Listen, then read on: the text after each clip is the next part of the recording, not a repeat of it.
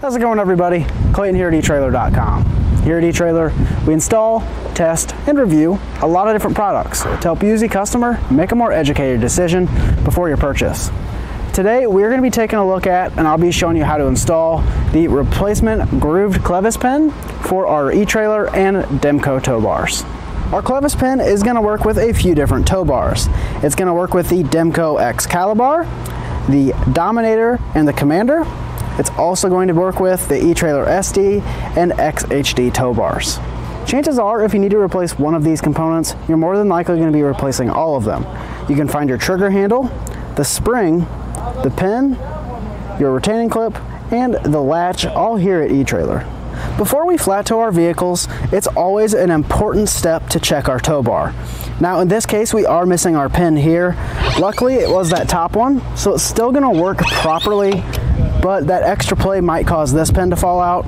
And if this bottom pin does fall out, this whole locking mechanism is actually gonna come apart. So we did get pretty lucky. Now for installing this new pin, we're just gonna take that from the bottom, line that up with the hole in our release latch, slide that through. Since we were missing our pin, we are missing our E-clip as well. That's what actually holds the pin into our tow bar. Luckily, we do sell these here at eTrailers, so you can just pick that up when you grab your pins. We just want to take that clip, slide it right into the groove there.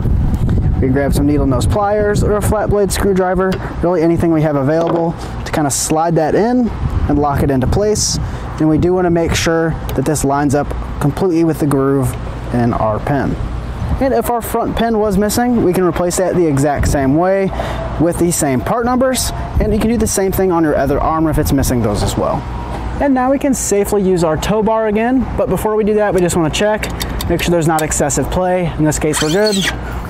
We'll extend that, make sure it locks into place and that it releases.